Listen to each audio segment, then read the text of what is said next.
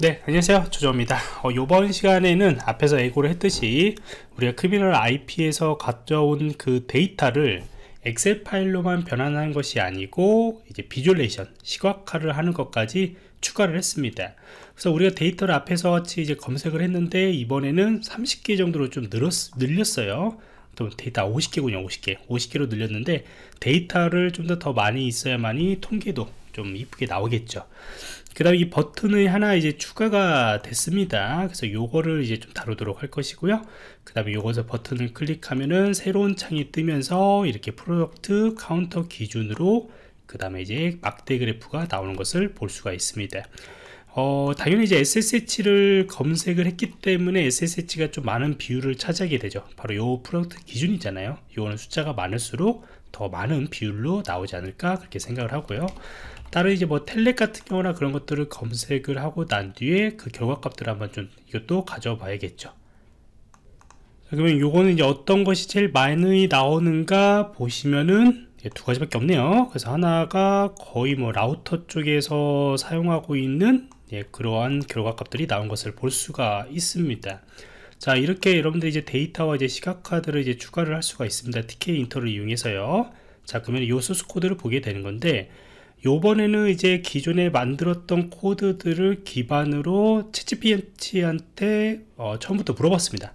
그래서 ChatGPT한테 이제 물어볼 때 여러분들이 완성된 코드들이 있으면 좀 더 효율적으로 이제 완성을 더 예, 추가를 시킬 수가 있겠죠. 그래서 기존 것을 소스 코드를 위에다가 이제 물어봤고요 그 다음에 이제 product 출력 데이터 기준에 데이터 시각화 그래프를 좀 더 추가하고 싶어. Treeview 아래쪽에다가 추가해줘. 원래는 제가 원했던 건 이제 Treeview 아래쪽에다 추가해 주는 건데 이게 좀 기술적으로도 제가 해봤는데 좀 어렵더라고요. 예, 그래서 그냥 새로운 창으로 뜨는 방식으로 만든 것을 그대로 이제 사용을 했습니다 자 그러면 이번 같은 경우는 이제 시각화에 사용하고 있는 그 라이벌이 두 개를 이제 가져오게 되는 거죠. 그 다음에 이제 넘파이 같은 경우는 어떤 통계를 위해서 이제 가져오는 거고 위에가 이제 시각화하고 관련된 것들을 여러분들이 추가를 해주시면 됩니다.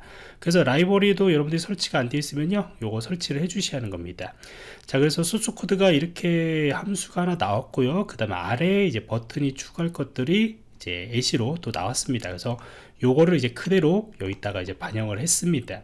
그래서 아래쪽이 이제 버튼 어, 그래서 이제 버튼 아래쪽으로 생기는 거죠. 아래쪽에 버튼이 하나 생기는 것이고요. 위치는 그 아래 그 left right 그 다음에 그 아래쪽에 이렇게 위치를 했고 visualize data라고 하는 함수를 호출하게 됩니다. 그래서 요게 이제 나오게 되는 거죠. 현재 요 같은 경우에도 엑셀 파일에서 가져오는 거하고 비슷합니다. 이 getChildren이라고 하는 함수를 이용해 가지고 하나씩 가져오시면 되고요. 근데 이제 요것도 똑같이 이제 column 정보식으로 해가지고 가져오려고 했는데 이게 구현할 때 좀 문제가 좀 생기더라고요. 왜 그러면 이제 group by라고 하는 것들을 가져올 건데 이 group by를 가져올 때 제대로 가져오지를 못하더라고요 자 그래서 일그랑 다 명시를 했습니다 똑같이 이제 column 정보에다가 이런 식으로 다 명시를 했고 이 product group by를 통해 가지고 저희가 이제 그룹별로 예, 묶는 거죠 그룹별로 이제 통계를 묶고 그거를 이제 product counter 기준으로 해 가지고 개수를 어, 세우게 됩니다. 그리고 그 개수 세운 것들에 대해서 라벨하고 이제 value 값들을 각각 인덱스 값, value 값들 정보들을 저희가 이제 가져오게 되는 것이죠. 자, 그래서 그룹화된 그런 개수 정보하고 각각의 정보들을 다 반영을 하고요. 그 아래는 이제 bar를 이용해서 저희가 시각화를 하게 되는 것이죠. 요거는 이제 크기들을 설정하기 위한 목적들이고요. 그래서 이런 식으로 이제 시각화를 하는 것을 볼 수가 있습니다.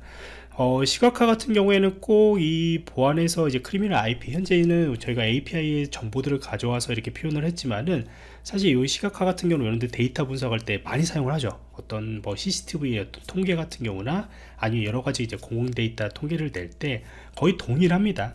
이런 그 소스 코드가요. 그래서 이런 구문 같은 경우는 여러분들이 알고 계시면은 위에 어차피 데이터를 가져오는 것들은 각각 API 서버나 그런 것들마다 다 차이가 있겠지만은 어, 엑셀 파일을 다운로드 받는다거나 시각화를 한다거나 이런 것들은 다 동일하기 때문에 여러분들이 그대로 소스코드 사용하시거나 아니면 저와 같이 이렇게 ChatGPT를 이용해 가지고 좀 더 효율적으로 여러분들이 원하는 것들을 하나씩 하나씩 추가를 해 주시면 됩니다 자 그래서 이렇게 기능들을 또 추가를 했습니다. 그래서 다음에 또 생각나는 것들 아이디가 있으면은 한번 추가를 해서 여러분들한테 선보이도록 하겠습니다